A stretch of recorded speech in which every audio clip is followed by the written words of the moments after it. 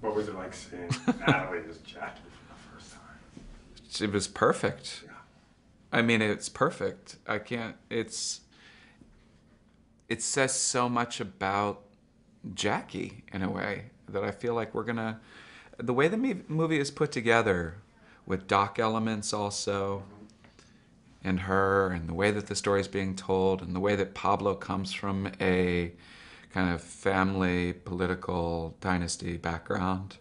Um, and that he knows those things from another angle. Also, the fact that he doesn't have any special reverence for the Kennedys the way that, you know, liberal Americans like myself do. So he's not.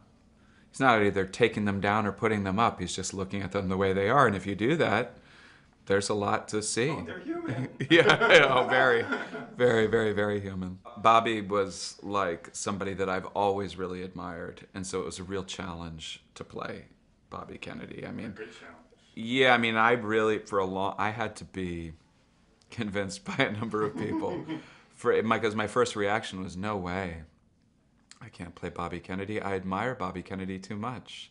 You know what I mean? I can't play a hero of mine. What's up, guys? I'm Giuliana Rancic, and you're watching the Live from the Red Carpet YouTube channel. Subscribe today, then be sure to check out our other Live from the Red Carpet videos right here.